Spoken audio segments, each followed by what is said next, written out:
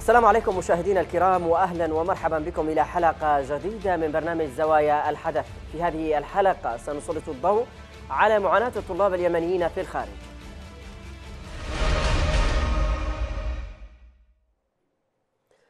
عام وأكثر منذ أن قطعت الميليشيا مستحقات الطلاب اليمنيين في الخارج لتبدأ على إثرها رحلة من المعاناة لشريحة يفترض أن تحظى بكل الرعاية والاهتمام كونها من يعلق عليها الأمل في المستقبل لكن المستقبل لا وجود له في نظرة الميليشيا. لذلك سخرت كل موارد البلاد لصالح المجهود الحربي وامتنعت عن دفع مستحقات الطلاب. الحكومة الشرعية أيضا هي لم تقم بما يلزم واكتفت بالوعود والمماطلة في أحيان كثيرة وهو الأمر الذي ساعد في مضاعفة معاناة الطلاب الذين أصبح البعض منهم عاجزا عن دفع إيجار سكنه. كما هو حال المبتعثين في المغرب الذين لجأوا إلى مبنى السفارة للإيواء والاعتصام. نتوقف عند هذا الموضوع لنناقش في محورين. المعاناة المستمرة للطلاب اليمنيين في الخارج وأين هو دور الحكومة الشرعية أمام معاناة الطلاب ولماذا لم يتم الاستجابة لمطالبهم حتى الآن؟ مشاهدينا قبل النقاش نذهب لمشاهدة هذا التقرير ومن ثم نعود.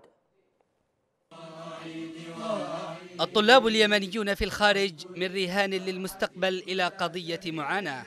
هكذا أصبح حال هؤلاء الذين ضاقت بهم بلدان الابتعاث بعد أن أضحوا عاجزين عن دفع أعباء حياتهم وتكاليف الدراسة. هنا مجموعة من الطلاب اليمنيين في المغرب الذين لجأوا إلى مبنى السفارة للاعتصام والإيواء بعد أن أصبحوا عاجزين عن دفع إيجار مساكنهم. هذا الحال يشبه حال بقية اليمنيين في بلدان العالم الذين توقفت مستحقاتهم منذ أمد. فالميليشيا التي سخرت كل موارد البلاد لصالح مجهودها الحربي امتنعت عن دفع نفقات الطلاب وهذا جزء من تعاملها الظلامي مع اليمنيين وقد أصبح معروفا. لكن الأمر يصبح مخزيا ومزريا من تعامل السلطات الشرعية التي لم تقدم سوى الوعود والمماطلة والجزء اليسير من المستحقات المتأخرة في بعض دول الابتعاث لتترك للبقية الأمل الطويل في الفرج والمعاناة المستدامة في الواقع. طوال الأشهر الماضية تعالت أصوات الطلاب وبحت حناجرهم وتحولت أنشطتهم من الدراسة والتعليم إلى التظاهر والاعتصام. ترافق ذلك مع حملات أطلقها ناشطون ومثقفون. تطالب بضرورة دفع مستحقات الطلاب. ومع ذلك لم تقم الحكومة الشرعية بالدور المطلوب منها على أكمل وجه إذ ما زال أنين المبتعثين يسمع من كل صوب. إذا مشاهدينا نبدأ النقاش وأرحب بأول ضيوفي سينضم إلينا من المغرب الأستاذ هلال الجمرة طالب ماجستير هناك. سيد هلال مرحبا بك. مرحبا أخي العزيز. شكرا جزيلا لقناة بلقيس على تعاونها وعلى مساندتها لنا في هذا الاعتصام. أهلا بكم. هذا ليس أقل من واجب سيد هلال. يعني نبدأ معك. حدثنا عن وضعكم أنتم الطلاب في المغرب حاليا. نحن في المغرب هذا اليوم السادس على التوالي ونحن مقيمون في السفارة اليمنية معتصمون هنا. بعد طبعا سلسلة من الاحتجاجات التي سبقت هذا الاعتصام وبعد سلسلة من الوعود وبعد أن لاحظنا عدم اهتمام السلطات المعنية وأيضا اللجنة المكلفة من رئيس الجمهورية بإنهاء معاناة الطلاب نعم. ونحن الآن يعني اللجنة التي شكلها رئيس الجمهورية هي كانت في 26 من شهر 11 بعد شهرين من الاحتجاجات والمطالبات يعني الآن وضع الطلاب محرج جدا نعم. لم يعد الطلاب باستطاعتهم لا دفع إيجارات السكن لا العودة حتى إلى منازلهم نعم الجانب الرسمي في في السفارة في لديكم في المغرب ما ما ماذا يقولون لكم يعني عن رد الجانب الحكومي حول تاخر صرف المستحقات؟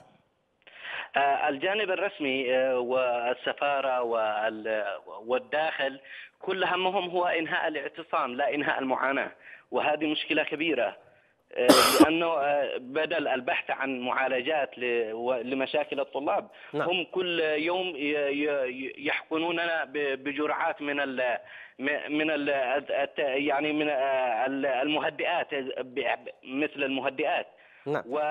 يعني هم لا لا يعني لا يصنعون معالجات جادة وهذا مؤسف جدا نعم ولكن لو عدنا إلى إلى أساس المشكلة من متى آه، يعني تم آه، إيقاف المستحق صرف المستحقات عنكم؟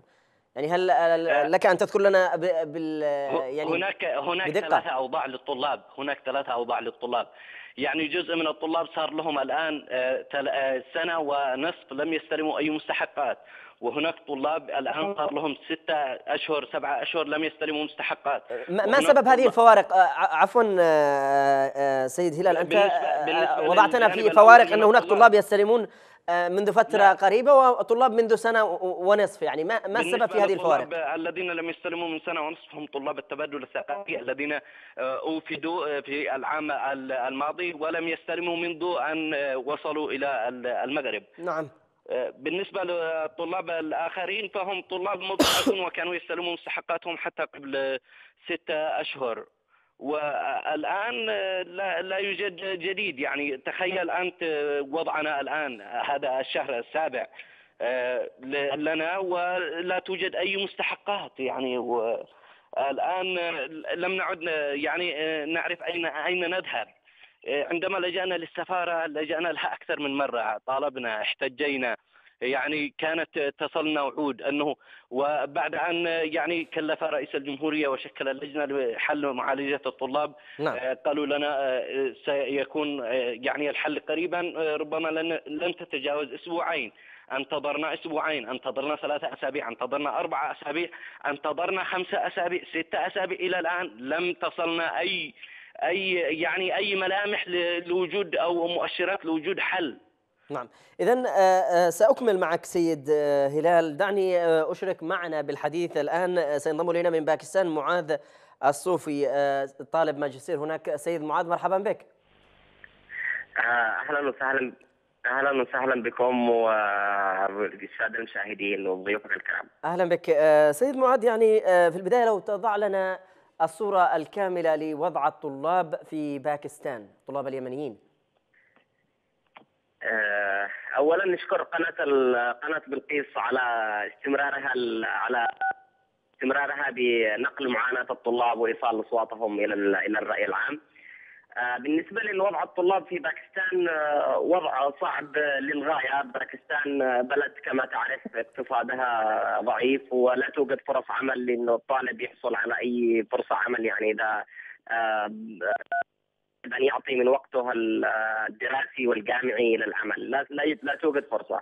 نعم. هناك الكثير من الطلاب طلاب ماجستير مع مع مع عائلاتهم مع أبنائهم في المدارس. توقفت ابناء توقف أبنائهم عن الذهاب إلى المدارس بسبب آه، الطلاب يعانون الآن على أبواب الاختبارات بعد سبعة أشهر من انقطاع المنح. في أيام الاختبارات هم بلا مصاريف بلا مواصلات للجامعات؟ آه، وضع صعب للغاية. في في ظل ان السفارة لا تقدم أي حلول للطلاب، إذا أراد طالب سلفة، إذا أراد طالب ابنته تفصل من المدرسة يريد أي معونة من السفارة، السفارة لا تقدم أي دعم في هذا الجانب. نعم ولكن أبوابها في في وجوه الطلاب. نعم ولكن ماذا ماذا ترد عليكم هذه يعني السفارة؟ هل هل هناك وعود آه، تقدم من قبل آه، الحكومة الشرعية بأنه هناك موعد محدد للصرف أم ماذا؟ آه السفاره بالنسبة للسفاره الأمر ليس بيد بيد بالنسبة لصرف المستحقات بالكامل. آه تم تشكيل في الأمر آه لجنة من قبل فخامة رئيس الجمهورية آه بهذا الخصوص لصرف الطلاب، لكن هذه اللجنة على ما يبدو حتى الآن أنها لا تعرف أين تقف. يعني تتصرف بطريقة وطريقة انتقائية. يعني بدأوا الصرف في الدول التي كانت فيها الإعتصامات. ماليزيا روسيا آه مصر آه بقية الدول لم يتم آه، أي مستحقات أو أو اي أو أي وعود حتى الآن. يعني أنت لو آه، اليوم آه، تم نشر مذكرة من وزارة الخارجية أرسلت إلى السفارة بالرباط والسفارة بالسودان لتوقيف الاعتصام وإعطائهم فرصة 10 أيام، يعني وزارة الخارجية تريد 10 أيام. بعد ما الطالب انتظر سنة بعد انتظار سنة تطلب منه أيضا يعني حتى الآن لا يوجد لديه حل للطلاب وإنما يعطونا مهلة أخرى. يعني هذا نعم. التساهل وهذا التلاعب يعني إنه الطلاب يعانوا من مشكلة حقيقية واللجنة يعني التحركات التي تقوم بها اللجنة لا ترقى إلى مستوى القضية. نعم. الطلاب يعانون الآن اختبارات طلاب يفصلوا، اليوم طلاب أربعة طلاب من الصين مهددين بأنهم سيفصلوا من الجامعة يوم غد إذا لم إذا لم إذا لم يسدد الرسوم. ونشرنا على صفحه اللجنة الطلابيه اللجنه التنسيقيه لطلاب اليمن في الخارج. هذه المناشدة إلى السفارة وإلى وزاره الخارجية. ولكن لا جديد. باكستان الصين الهند آه يعني كثير من الدول أكثر من 35 دولة لم يصرف لها حتى الآن. نعم ولكن آه معاذ آه هناك تصريحات للجانب الحكومي بأن مستحقات الطلاب قد تم آه، اعتمادها لكل الدول. برأيك لماذا لم يتم صرف المستحقات من الجهة المسؤولة حتى الآن؟ في آه، عدم إيصال مستحقاتكم؟ الجهة المسؤولة حتى الآن هي وزارة التعليم العالي هي وزارة التعليم العالي واللجنة المكلفة من قبل فخامة رئيس الجمهوريه. يعني استغرب إنه إنهم يعملوا فقط في الجانب الإعلامي، يعني يقول نحن حولنا سنحول يعني نشرت اللجنة التنسيقية بيان لخصت فيه كل الوعود التي التي ذكرت من من التي جاءت من اللجنة التنسيقية على مدى كل يوم بالتاريخ ونص نص الوعد نص الوعود. مجرد وعود لا توجد تحويلات. تواصلنا مع السفاره السفارة تقول لا, لا لم لم تصلنا اي أي مبالغ مالية. نعم اذا مذكرة اليوم مذكرة اليوم التي أرسلت من وزارة الخارجية إلى إلى بطلب مهلة لمدة 10 أيام تثبت أنه لم يتم تحويل أي مبالغ حتى الآن سواء للأربع الدول التي آه، صرف لها مسبقا. نعم اذا آه، دعنا آه، ابقى معي سيد معاذ أعود لضيفي الآخر السيد هلال الجمرة. سيد هلال يعني لماذا لو وضعنا عليك هذا السؤال لماذا توقفت صرف مستحقات الطلاب؟ ما هي الأسباب؟ من الطرف المسؤول وراء إيقاف صرف المستحقات حتى اللحظة؟ مع آه، وجود آه، تصريحات من الحكومة بأنه قد تم اعتماد آه، يعني مستحقات الطلاب في إلى جميع الدول. شكرا أستاذ. أقول لك إنه أمامنا الجهة المسؤولة هي الدولة. الدولة ممثلة بوزارة الخارجية وممثلة بوزارة التعليم العالي والجامعات. لأنه حتى الآن يعني حتى الحديث عن آه، آه، معالجة الطلاب يتم الحديث فقط عن معالجة طلاب مثلا التعليم العالي. وهناك طلاب مبتعثين من الجامعات وهناك طلاب مبتعثين من التعليم الفني وهناك طلاب آه، مبتعثين من القضاء. وأيضا هنا هنا مشكلة كبيرة. آه، اليوم وصلتنا مثلا آه، رسالة من آه، وزارة الخارجية بعد الضغط والاعتصام لمدة ستة أيام. نعم. في الدول التي فيها اعتصامات يقولون إنه إنهاء الاعتصام على أن يعطونا مهلة لمدة عشر أيام لتحويل المستحقات وهذا ليس صحيح. لو كان يعني في جدية في معالجة الموضوع كان آه، يعني أرسل لنا فقط إشعار لتحويل المستحقات. لو توصلنا بالإشعار هذا لتحويل المستحقات ما يعني لا فضينا الاعتصام في الحال. يعني نحن حتى لو فضينا الاعتصام ومع أنه هنا زملاء لا يستطيعون حتى أن يذهبوا إلى مساكنهم بسبب مطالبة المؤجرين لهم بمستحقات. وهناك طلاب أيضا لا يستطيع أطفالهم أن يذهبوا للمدارس. هناك طلاب توقفوا عن الذهاب إلى الجامعات. هناك طلاب الآن على وشك الامتحان. يعني الآن هناك طلاب يمتحن آه، في آه، في لحظة امتحانات وهم آه، يعني في في مشاكل لا يعني لا تنتهي. من نعم. التزامات للطلاب من التزامات المصاريف اليومية من التزامات السكن من التزامات الإيجارات ووسائل النقل.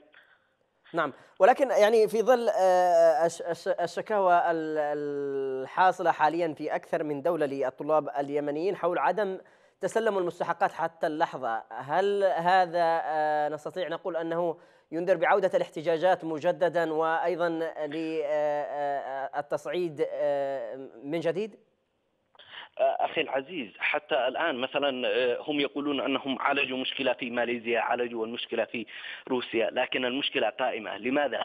لأنهم الآن يتحدثون عن مشكلة ربع واحد وهو الربع الرابع من عام 2000 ومثلا و16 الآن إحنا في بداية الربع الثاني. عندما الآن لو لو لو حلت المشكلة مثلا فهم يتحدثون فقط عن الربع الرابع من العام 2016 لكن الآن إحنا نطالب بربعين الربع الرابع من عام 2016 والربع الأول من من عام 2017 لأنه يفترض أن نتسلم الربع الأول من عام 2017 الآن. يعني الآن لنا مستحقات سبعة أشهر. هم نعم. لا يقدرون هذا. آه، الآن مثلا في ماليزيا أنهوا يقولون أنهم أنهوا المشكلة لكنهم لم ينهوا المشكلة. الآن آه، ما صرف في ماليزيا هي آه، يعني مستحقات سابقة جدا. الآن هم بدأوا يطالبوا بمستحقات جديدة. أيضا هناك مشاكل أخرى. يعني لم تحل مشكلة طلاب التبادل الثقافي للعام المنصرم يعني المبتعثين في العام الفائت 2016 2015 2016 وهذه تظل مشاكل قائمة لأنه لا يوجد حل جذري للموضوع. الموضوع لا يحتاج كل هذا كل هذا التخبط وكل هذا يعني التجاهل وعدم الاهتمام وال نعم. والتأخير. نعم سيد هلال سيد هلال يعني قبل أن أختم معك يعني رسالة تود إيصالها للجهات المعنية. نود إيصال آه، للجهات المعنية آه، لا نريد نحن نريد أن نظهر اليمن بشكل راقي جدا. ولهذا جئنا إلى ال ال إلى سفارتنا للاعتصام بشكل سلمي وبشكل مدني وبشكل مهذب وراقي، لا نريد أن نظهر و بشكل لا يبيض وجه اليمنيين. لا نريد أن يذهب زملائنا وأصدقائنا إلى آه، السؤال أو الطلب أو الشحتة أو نعم. الإهانة. آه، نريد أن يحفظوا لنا ماء وجهنا. أمام العالم. نريد أن يحفظوا لنا ماء وجهنا أمام آه، الدول المستضيفة. نعم نتمنى أن يكونوا قد استمعوا لرسالتك وصوتك. أشكرك جزيلا آه، آه، هلال الجمرة آه، طالب ماجستير. كنت معنا عبر الهاتف من المغرب. أعود لضيفي الآخر من باكستان معاذ الصوفي. سيد معاذ يعني كيف سيؤثر هذا الأمر على التحصيل العلمي بالنسبة للطلاب حاليا؟ يعني اليوم لا توجد مستحقات ولا هل الطلاب ما زالوا يعني يواظبون على الالتزام بدوامهم في الجامعات و آه، أم أن أم أن تأثير الأمر المادي آه، آه، أوقفهم عن الاستمرار؟ بالطبع بالطبع الأمر المادي سبب كثير من المشكلات كثير من الطلاب ربما الكثير من الطلاب سيتأخرون فصل دراسي أو فصلين بسبب هذه الظروف. يعني كما ذكر الأخ هلال الجمرة في المغرب نفس نفس هي نفس القضية نعاني منها في باكستان. دول الابتعاث. آه، قضية الإيجارات قضية السكن قضية المواصلات إلى الجامعة قضية المصاريف أيام الاختبارات النوات الكتب المذاكرة. كل هذه الأمور متطلبات. يعني تشكل عائق كبير بالنسبة للطالب أنه يكون مستعد أو جاهز إلى إلى الدخول في في, في الاختبار، طبعا تصلنا قصص يعني لا لا نستطيع إنه ان تنشر على العام لكن هناك يعني الطلاب يعانوا بشكل حقيقي والجهات المسؤولة يعني لا تعير هذه القضية ما يجب. يعني كما ينبغي ان أن تعالجها ولا وانما تبحث عن مراوغات. يعني ما نشعر فيه كانه مراوغات نعم. طيب آه، على إثر هذا آه، الواقع يعني هل آه، سنشهد عوجة يعني عودة للاحتجاجات مجددا وبزخم كبير كما كانت عليه قبل قبل أن يعني تأتي الوعود من الحكومة و يعني الصرف لبعض الدول؟ بالطبع بالطبع نحن في اللجنة التنسيقية للطلاب اليمن في الخارج أصدرنا بيان بالأمس الفعاليات والاعتصامات وفي في الدول التي لم تستلم الآن ومنها كثير من من الدول منها المغرب السودان اعتصام اليوم باكستان سيكون هناك اعتصام آه، آه، في يوم الثلاثاء. نعم. طلاب الاتحادات في في جميع الدول آه، تركيا أيضا ربما سيكون هناك اعتصام يوم الجمعة يوم الجمعة القادم في هذا الأسبوع نعم. نحن في اللجنة التنسيقية نحاول أن ننسق وندعم هذه هذه الفعاليات كي تكون بشكل موحد و وتلفت أنظار انتباه الجهات المعنية بحجم المشكلة لأنهم ربما يتعاملوا مع الجانب الإعلامي فقط لأنهم صرف في ماليزيا وصرف في ألمانيا وصرف في في روسيا البلدان التي كانت فيها اعتصام وهذا بالتأكيد عيب في حق الحكومة إنها تتعامل فقط مع الطالب الإعلامي في بعض الدول طلاب لا يستطيعون نعم. الذهاب إلى الاعتصام مثلا باكستان مدن مترامية الأطراف تحتاج مسافة كبيرة وتحتاج كثيرة أن تسافر إلى السفارة لتقيم اعتصام نعم. يعني ان يتم تجاهل باكستان فقط أو المغرب أو أي دولة أخرى أنها لم تعتصم بتأخير المستحقات يعني هذا شيء لأول مرة يحصل في في تاريخ اللجان المشكلة وفي تاريخ الوزارات في العالم. نعم سيد معاذ قبل أن أختم معك فقط آه، آه، رسالة تود توجيهها للجانب الحكومي.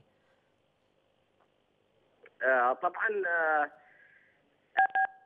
نقول نوجه رسالتنا إلى الجانب الحكومي والتي سبق أن وجهناها مرارا وتكرارا من خلال هذا المنبر قناة كل اليمنيين إنه آه عليهم الإسراع وإيجاد حلول عاجلة ترقى إلى حجم المشكلة، إنه بقاء الطلاب هكذا أمام العالم في كل مكان يتظاهرون، هذا ياثر بالسلب على سمعة اليمن، على سمعة وزارة الخارجية، على سمعة الدبلوماسية اليمنية، على يعني مستوى الحلول اللي اللي اللي تضعها الحكومة، يعني الحكومة لا, لا تستطيع أن أن تحل مشكلة خلال سبعة أشهر يعني كيف كيف يتوقع منها العالم إدارة بلد؟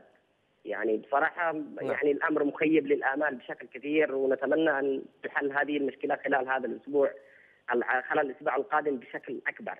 نتمنى أن تصلهم رسالتك آه، سيد معاذ الصوفي. كنت معنا عبر الهاتف من باكستان. شكرا جزيلا لك. اذا مشاهدينا بهذا القدر آه، نصل إلى ختام حلقة أو آه، كما يقول منتج حلقة الليلة من برنامج زوايا الحدث. هناك أيضا ضيف آخر لم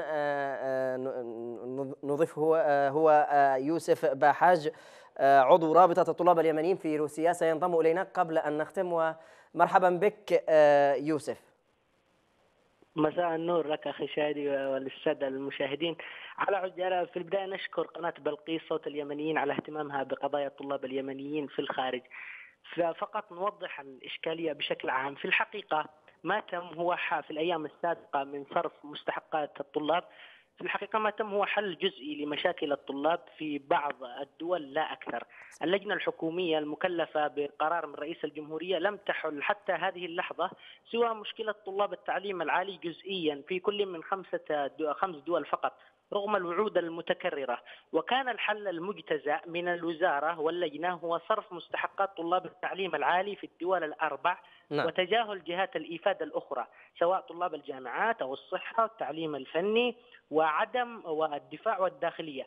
أيضا هناك نقطة عدم إيجاد حلول فعلية لطلاب التبادل الثقافي وطلاب الاستمراريات ممن لديهم قرارات إيفاد سواء من الوزارة من الجامعات. أيضا هناك مشكلة رئيسية في الصرف آه، في الوزارة أيضا وفي السفارات. التعامل البطيء من سفارات الدول التي وصلتها المبالغ نعم. مثل سفارة موسكو قبل ثلاثة أسابيع وسفارة القاهرة. فلم يصرف الربع للطلاب أو للبعض. في موسكو تم الصرف لبعض الطلاب والبعض بعد إجازة رأس السنة ابتداء من غدا سيتم الصرف. لكن يوسف يوسف آه، يوسف هنا فقط على الحكومة آه، عفوا ولو قاطعتك يوسف الحكومة تحدثت نعم. أنها أرسلت المستحقات المالية الخاصة بالطلاب لجميع السفارات. بينما آه، الأنبات التي تصل أن هناك عدد ما يقارب أربع سفارات التي وصلتها المبالغ المالية منها ما صرف ومنها لا نعلم. ولكن ما ما المعلومة التي لديكم؟ هل فعلا المستحقات التي تحدثت عنها الحكومة أنها وصلت بشكل كامل للطلاب المشكلة أنها لم تصل هذه المبالغ أم أنه في آلية الصرف لم تصرف حتى اللحظة؟ أنا أعتقد من وجهة نظري أن المشكلة في لا أحد يدري ما هي المشكلة أساسا لكن المشكلة في آلية الصرف المبالغ تم تحويلها منذ أسبوعين، المشكلة التي كانت في سفارة الجمهورية اليمنية في موسكو كما شاهدتم على التلفاز وعلى قناة بلقيس أنه كان السفير يقول أنه تم إرسال المستحقات إلى حساب السفارة وهو يجب إرسالها إلى حساب الملحقية. آه، الثقافية لكي يتسنى الصرف. أيضا هناك الآن لدينا مشكلة لطلابنا وزملائنا في الصين أربعة طلاب مهددون بالفصل بعد يومين وذلك لعجزهم عن سداد الرسوم الدراسية التي تتكفل الدولة بسدادها. أيضا طلابنا في المغرب منذ الثلاثاء الماضي قاموا اعتصام مفتوح في سفارتنا في الرباط وطلابنا في السودان، باكستان، في المجر وفي أمريكا والصين. الطالب اليمني يا عزيزي يعيش كارثة لكن يوسف فيما يتعلق بالطالب آه، في في روسيا روسيا تحديدا هل تم آه، آه، استلام المستحقات من قبل جميع الطلاب؟ أم أن هناك فقط عدد محدد الذين استلموا؟ نعم تم استلام البعض وتم استلام بعض الطلاب مبالغهم المالية. البعض الآخر لماذا لم يستلم حتى الآن؟ نعم الطلاب الذين لم يستلموا إلى الآن كانت الحجة أنها إجازة رأس السنة عشرة أيام نعم. ومن ثم سيتم الصرف والبعض أنزلت أسماءهم بحجة انتهاء فترتهم القانونية التي هي خمس سنين ابتعاث. وتم إعطائهم الربع الرابع الأخير وإسقاط الربع الثالث. الطالب اليمني يعيش كارثة والله بكل المقاييس. وهذا إجراء طبيعي. دون سكن يوسف دون, دون من من سلموهم من سلموهم الجزء الرابع. يوسف من سلموهم الجزء الرابع وبحكم أنهم أكملوا السنين السنين الابتعاث. يعني هذا إجراء طبيعي. هذا إجراء نستطيع أن نقول أنه إجراء طبيعي لكن لدينا الكثير من الطلاب لديهم قرارات إيفاد تبادل ثقافي من سنة 2016 من بداية العام لم يستلموا أي شيء حتى هذه اللحظة. ما هي الأسباب الموضحة حول ذلك؟ لا يوجد أي سبب من السفارة. السفارة تقول أنه لم يتم التعزيز وهكذا. والسفارة تحمل المشكلة على الوزارة والوزارة تحمل المشكلة على السفارة. أصبح الطالب دون سكن دون دون مأوى دون أبسط مقومات الحياة. هنا درجة الحرارة 30 تحت الصفر. نحن في روسيا آه، نعلن تضامننا الكامل مع زملائنا المعتصمين في المغرب والمجر والصين. آه، اللجنة التنسيقية للطلاب اليمنيين في الخارج قامت بعدة خطوات أهمها بدء اعتصام مفتوح في المغرب واستئناف اعتصام السودان واعتصام ينظمه اتحاد الطلاب في باكستان وبدء اعتصام مفتوح ينظمه الطلاب في المجر. نعم. طيب آه، يوسف بعد هذا سيتم آه، إجراء خطوات تصعيدية بحسب بيان السفارة قد تصل إلى إقفال وتعطيل السفارة اليمنية حتى تقوم بواجبها كاملا تجاه الطلاب. نعم. الطلاب تركوا يا عزيزي تحصيلهم العلمي ودروسهم وذهبوا للمطالبة بحقوقهم مع الأسف الشديد نعم. من لي مناشدة من هنا من منبر قناة بلقيس صوت اليمنيين ناشد رئيس الجمهورية عبد الرب منصور هادي رئيس الوزراء أحمد عبيد بن دغر نعم. وزير الخارجية وزير المخلافي وزير الخارجية وزير التعليم العالي بسلامة بسرعة إيجاد الحلول لمشاكل الطلاب نعم. وصرف المستحقات الدراسية كاملا. والله كفى عبثا بمستقبل الطالب. الطالب اليمني في الخارج لا يريد سوى مستحقاته ولا شيء غيرها. كما ندعو وزير الخارجية المخلافي وزير التعليم العالي بسلامة للنزول إلى السفارات في روسيا في مصر في المجر والاطلاع على وضع الطلاب هناك. اللجان والقرارات يا عزيزي وحدها لا تكفي. نريد تطبيق على أرض الواقع. نعم. إذا آه، آه، وصلت نتمنى أن تصل رسالتك إليهم آه، سيد يوسف. أشكرك جزيلا كنت معنا عبر الهاتف من روسيا. يوسف باحاج عضو رابطة الطلاب اليمنيين. شكرا جزيلا لك. إذا مشاهدينا بهذا القدر نصل إلى ختام حلقة الليلة من برنامج زوايا الحدث. أشكر ضيوفي كان معي عبر الهاتف آه، السيد هلال الجمرة طالب ماجستير في المغرب. وأيضا معاد الصوفي آه، كان معي عبر الهاتف من باكستان. والشكر أيضا ليوسف باحاج عضو رابطة الطلاب اليمنيين كان معنا عبر الهاتف من روسيا. وختاما مشاهدينا تقبلوا تحياتي وتحيات معد حلقة الليلة زميل ماهر أبو المجد. وهي أيضا من جميع أفراد طاقم العمل حتى الملتقى في أمان الله.